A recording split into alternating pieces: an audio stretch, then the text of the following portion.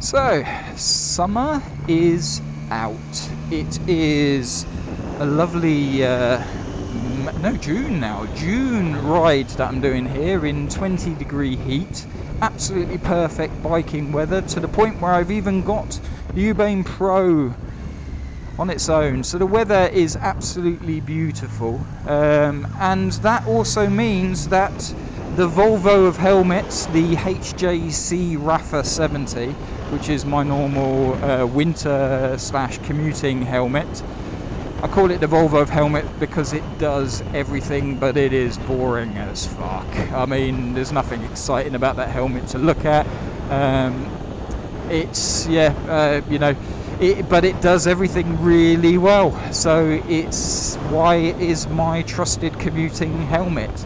Uh, but as soon as the sun is out, the Ruroc Ronin Atlas is out.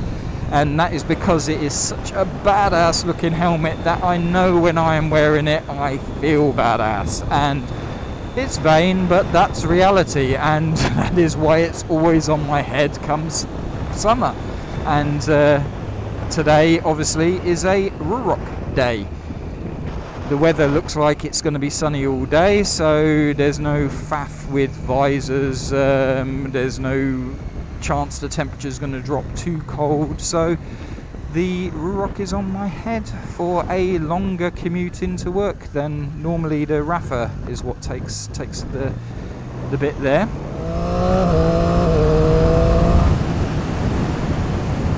Ooh, cool me down after those lights.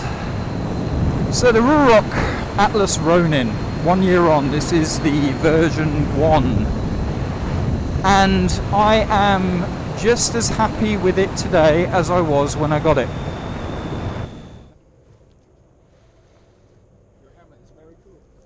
Cheers, mate. Yeah, nice and summer. Thank you. And that's the thing about the Ruroc Atlas Ronin. You will get a lot of people saying I like your helmet. It's very cool. Helmet looks cool. And you know what? It is cool. Makes you feel good. Because it's so badass looking. Ruroc have, uh, I think, done an absolute sterling job as, as a fledgling motorcycle helmet company. A year ago I bought this Ronin and I couldn't be happier with it. Sure, there were some niggles that I pointed out in my video review, and some people agree with those niggles, some people take them to a bigger extreme, and it's a deal breaker for them. That's got to be the same for every product or any product, really, that you come up against. For me, when summer comes, this is the helmet that's always on my head. And really that speaks volumes because all of the negatives for the helmet are not enough to stop me from wearing it. So they got to be quite minor. The thing that I love about this helmet is obviously the looks, which makes me feel good. I feel badass wearing it, and that feeling is what this channel's all about. How all of these products that I review, be it on the motorcycle or gadget or whatever, how they make me feel, how I react to them.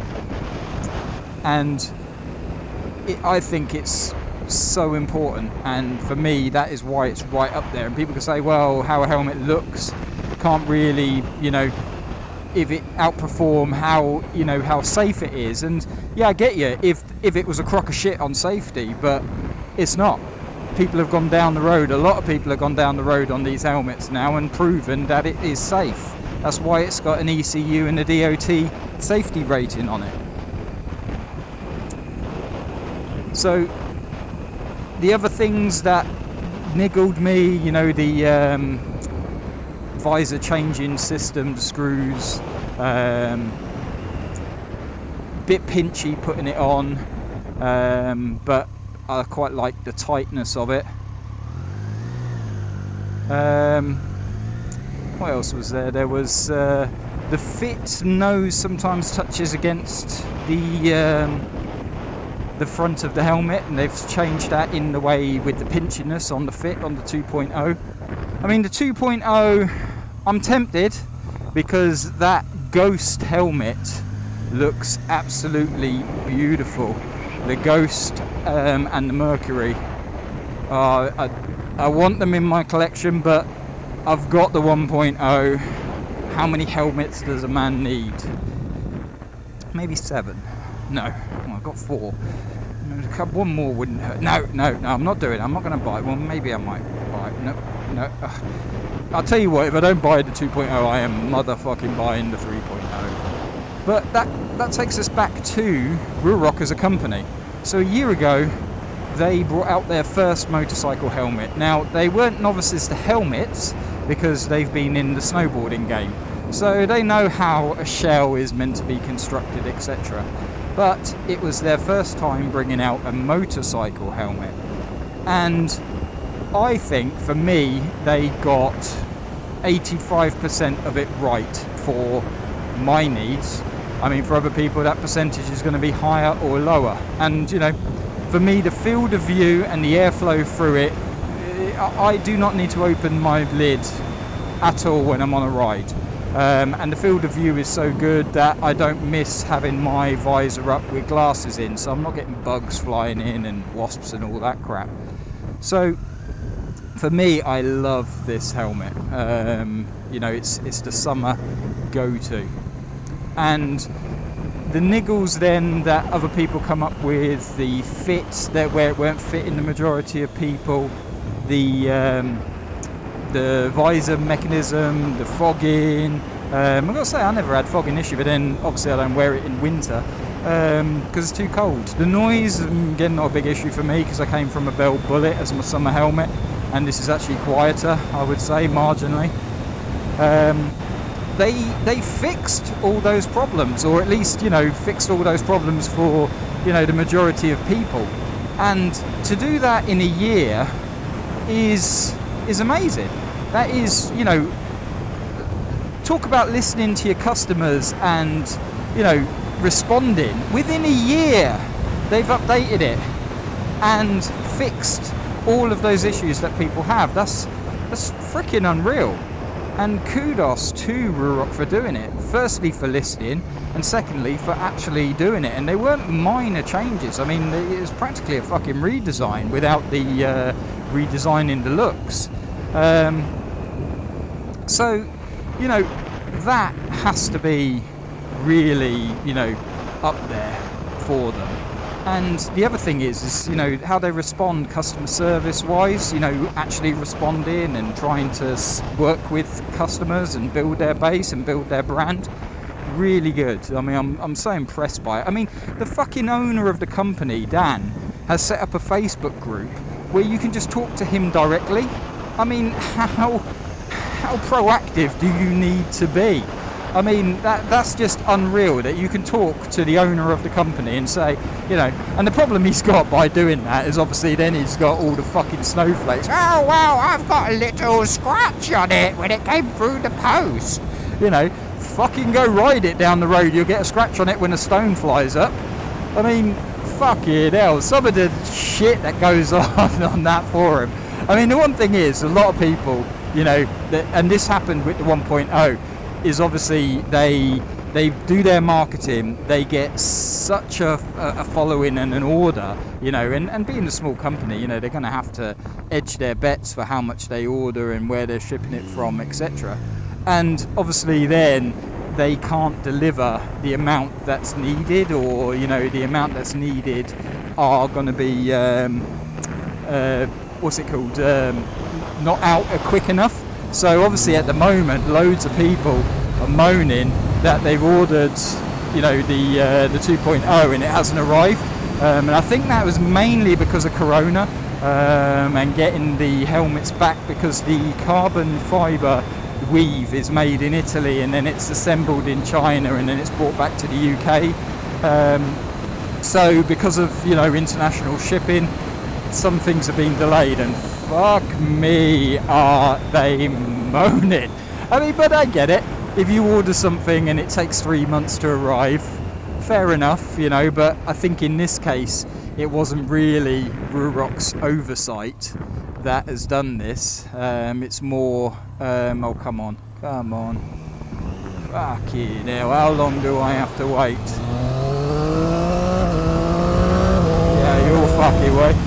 So it wasn't so much, you know, down to Ruroc fault being there. I think that was more the situation. But at the same time, you know, Dan, the CEO, is still responding to these people, saying that's out of my control. You know, like custom taxes that coming in um, that people weren't aware of, highlighting all things like that. So, you know, really proactive, really, you know, good customer service, I would say. You can't please all the people all the time. No one can, no product can. Um, so I think at the end of the day, my user experience with Ruroc has been really good. I got my helmet quick, my 1.0, and I remember there were people waiting at the time, you know, and they pre-ordered and the helmet went back and got redesigned and some other crap. Um, but mine came quick. I'm really happy with it. I mean, you know, if I was anal enough to check all the dimensions and check this and check that, I'm sure I could probably find a line out of place or a scratch or something. But like I say, you know, just fucking go down the road at 70 miles an hour and have a stone fly up in your face, and you will soon uh, have scratches all over it, bugs splattering all over the place. So uh, the odd little nick here and there is hardly uh, anything to, you know, crucify them on. I think their shockwave has not been as good as people would like compared to like a Sena. Um, haven't got it myself personally. I try and shy away from comms in my helmet. I don't want people getting hold of me. But the concept of having it at the back is really good. I mean, me on this vlogging, check out my cheap and dirty vlog setup, and you'll see that where the shockwave actually goes is where when I'm not recording audio that's plugged into my iPhone, I just tuck the um, iPhone cable in that um, section there, which is quite nice. It's hidden, it's out of the way. Um, so yeah, that's a nice little slot to go hide in it. But yeah, Ruroc, um, I think in one year from bringing out a helmet that is, you know, obviously it's it's not quite a Shoei. It's not been going as long, you know. It's um, but they, they they're close. They're fucking close, and they're 2.0. I haven't got my hands on it, but I would say that's even closer. And probably by the time they get to revision five, I would say they're probably going to beat them. They're probably going to have more of that knowledge and comfort and you know all of the things that some of the other helmets get. And, and this is something to bear in mind you know I'm saying they're not quite there on the Shoei. Um, I'm talking about you know 500 quid Shoei not you know a sort of well do they do entry level one? You know like a 200 quid five year old one or something you know what I mean? It's you got to put it in perspective so here's an example I've been sat at these lights for a little while and my lid, visor lid, has remained closed. Don't get me wrong, if I was there another couple of minutes more I might pop it open but now on the go again air flows through nice and cool. So keep your visor shut. I've got the red mirror iridium visor, whatever it is, which makes me look really ninja-esque. If I open it, you just see my face and no one wants to see that. This dead cat is tickling my chin.